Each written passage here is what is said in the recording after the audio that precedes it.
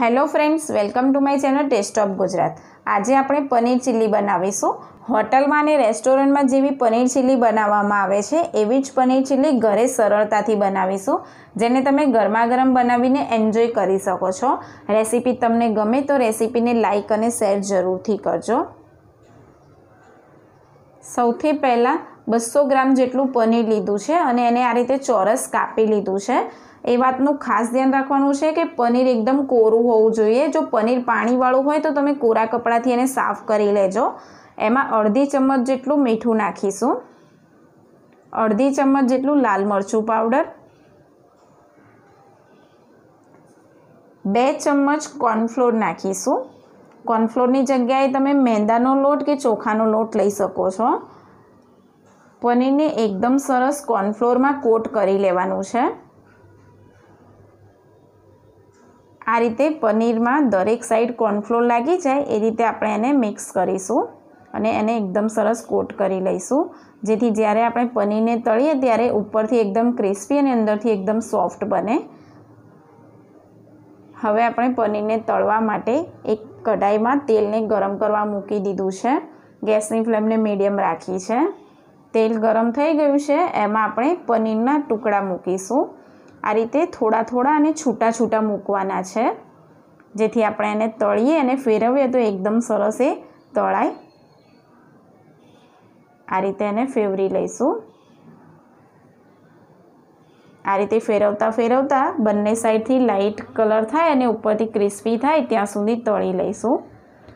ત્રણથી ચાર મિનિટ થઈ ગઈ છે અને પનીર એકદમ સરસ ક્રિસ્પી થઈ ગયું છે ઉપરથી. એને એક પ્લેટમાં નીકાળી લઈશું અને એ જ રીતે આપણે બીજા પનીરને પણ તળી લઈશું.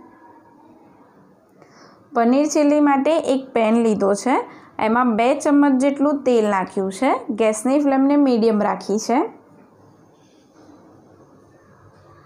તેલ ગરમ થઈ ગયું છે. હવે એની અંદર ઝીણું સમારેલું લીલું મરચું નાખીશું.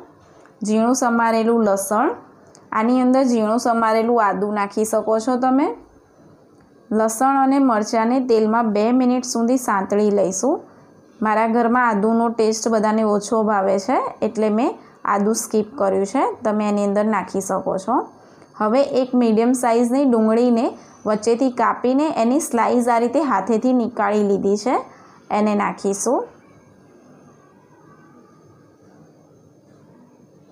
એક અડધું કેપ્સિકમ એને ચોરસ મોટી સાઇઝમાં કાપી લીધું છે, એને નાખીશું. ગેસની ફ્લેમને હવે હાઈ કરી દઈશું, કારણ કે ચાઇનીઝ વસ્તુ હંમેશા હાઈ ફ્લેમ ઉપર બનતી હોય છે. એને બે મિનિટ સુધી તેલમાં સાંતળી લેવાનું છે. સ્વાદ અનુસાર મીઠું નાખીશું. મીઠું નાખતા ધ્યાન રાખવાનું છે કે આપણે જે સોસ નાખીશું એની અંદર પણ મીઠું હોય છે, એટલે મીઠું થોડુંક ધ્યાનથી નાખવાનું. એક અડધી ચમચ જેટલું કાશ્મીરી લાલ મરચું નાખીશું. એક ચમચ ડાર્ક સોયા સોસ. તમારી પાસે ડાર્ક સોયા સોસ ના હોય અને રેગ્યુલર હોય તો તમે બે ચમચ નાખી શકો છો. એક ચમચ ગ્રીન ચીલી સોસ નાખીશું. એક ચમચ ટોમેટો કેચઅપ નાખીશું.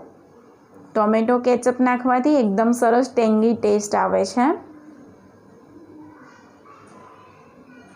હવે અડધી ચમચ જેટલું વિનેગર નાખીશું.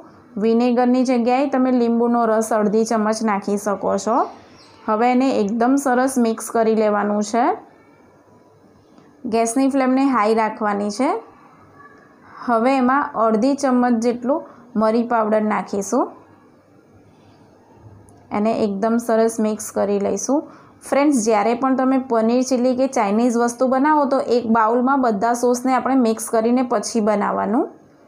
હવે એની અંદર બેથી ત્રણ ચમચ જેટલું પાણી નાખીશું, જેથી સોસ બળે નહીં. અને એને બે મિનિટ સુધી થવા દીધું છે. તમે જોઈ શકો છો, સરસ એવું એકદમ ઠીક થઈ ગયું છે. હવે એક બાઉલમાં એક ચમચ કોર્નફ્લોર અને બે ચમચ પાણીને મિક્સ કરીને રાખ્યું હતું. એને નાખ્યું છે, જેથી એકદમ સરસ સોસ ઘટ થાય. અને જ્યારે આપણે પનીર નાખીએ તો પનીર ઉપર એકદમ સરસ કોટ થઈ જાય. તમારે આને ગ્રેવીવાળી પનીર ચીલી બનાવવી હોય તો તમે આની અંદર સોસને ડબલ નાખજો, ક્વોન્ટિટી વધારી દેજો અને કોર્નફ્લોરની સ્લરી પણ વધારે બનાવીને નાખજો. હવે એની અંદર આપણે જે પનીરને તળીને રાખ્યા છે, એને નાખ્યા છે અને એને એકદમ હાઈ ફ્લેમ ઉપર આ રીતે દરેક સાઈડથી સોસમાં કોટ થઈ જાય, ત્યાં સુધી આપણે એને મિક્સ કરી લઈશું. એકદમ સરસ મિક્સ કરી લેવાના છે. આની અંદર આપણે કોઈ કલરનો યુઝ નથી કર્યો. બહાર જે મળે છે, એમાં કલરનો, રેડ કલરનો યુઝ થાય છે. જો તમારે નાખવો હોય તો તમે નાખી શકો છો. એની અંદર ઝીણી સમારેલી લીલી ડુંગળી નાખીશું. લીલી ડુંગળી તમારી પાસે ના હોય તો તમે એને સ્કીપ કરી શકો છો. હાઈ ફ્લેમ ઉપર એને બે મિનિટ સુધી સાંતળી લઈશું. પનીર ચીલી તૈયાર છે અને સર્વ કરી લઈએ. પનીર ચીલ્લીને સર્વિંગ બાઉલમાં નીકાળી લીધી છે અને ઝીણી સમારેલી લીલી ડુંગળીથી ગાર્નિશ કરીશું. હવે હોટલમાં કે રેસ્ટોરન્ટમાં જઈને પનીર ચીલ્લીનો ઓર્ડર આપવાની જરૂર નથી. તમારા હાથે જ એકદમ ટેસ્ટી એવી પનીર ચીલ્લી તમે બનાવીને ગરમા ગરમ એન્જોય કરી શકો છો. રેસીપી એકવાર ઘરે જરૂરથી બનાવજો અને કેવી લાગી એ કમેન્ટ કરીને જરૂરથી જણાવજો.